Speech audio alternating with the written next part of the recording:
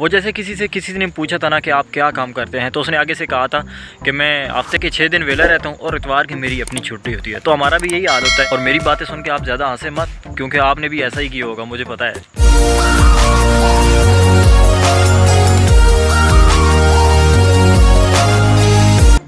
वालेकुम good morning, कैसे हैं आप? उम्मीद है सब ठीक ठाक होंगे और जाग भी गए होंगे। ये मैंने इसलिए कहा है क्योंकि आज इतवार का दिन है सो बहुत सारे लोग इस वक्त सो भी रहे हों।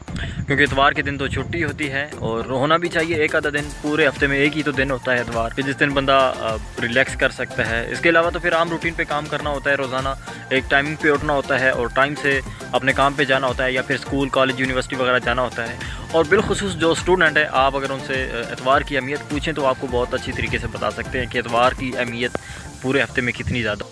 क्योंकि एक एतवार का ही तो दिन होता है जो पूरे हफ़्ते में याद रखने वाली चीज़ होती है। इसके अलावा सबक वगैरह तो फिर याद होता ही रहता है।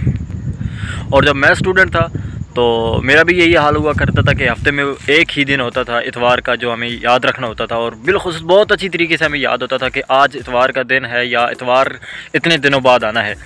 और आपको एक पते की बात बताऊँ?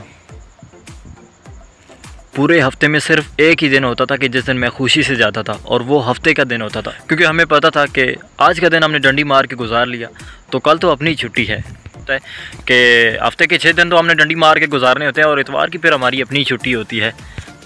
ये दौर हर किसी स्टूडेंट पे आता है, सिर्फ़ मेरे पे या एक दो लोगों पे नहीं, हर किसी पे आता है। खैर जी, ये तो होगा थोड़ा शुगल मेला और बाकी मेरी दुआ है आप तमाम लोगों के लिए कि जो लोग स्टूडेंट हैं या कोई जॉब वगैरह करते हैं या जो भी काम करते हैं आप, अगर आप स्टूडेंट हैं तो अल्लाह ताला आपको इम्तहान में कामयाबी दे, आपको अपनी क्लास में कामयाबी हो और आप नेक्स्ट क्लास में से अगर आप कोई जॉब वगैरह करते हैं तो अल्लाह ताला आपको उसमें भी कामयाब करे, आपको अपने बिज़नेस में कामयाब करे अल्लाह ताला उन तमाम लोगों को कामयाब करे जो अपने किसी न किसी जायज़ मकसद के लिए घर से निकले हुए हैं।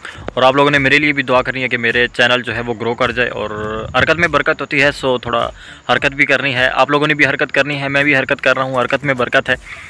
सो चैनल को लाजमी सब्सक्राइब किया करें अगर आप चैनल पर न्यू है और घंटी के बटन को लाजमी प्रेस किया करें ताकि नोटिफिकेशन आपको मिल सके मेरी आने वाली वीडियोज़ का। और और और मज़ीद ये कि अगर वीडियो पसंद आती है तो और मज़ीद ये कि अगर आपको वीडियो पसंद आती है तो वीडियो को लाइक और शेयर कर दिया करें और नीचे कमेंट बॉक्स में अपना कमेंट, अपनी राय करें कि वीडियो आपको कैसी लगी या इसमें मज़ीद क्या बेहतरी लानी चाहिए। और आप तमाम लोग जो वीडियोस को देखते हैं, वीडियो को लाइक करते हैं, वीडियो पे कमेंट करते हैं, आप तमाम लोगों का दिल की अता गहराइयों से शुक्रिया। और जो लोग लाइक और कमेंट नहीं करते, आप तमाम लोगों का भी बहुत बहुत शुक्रिया।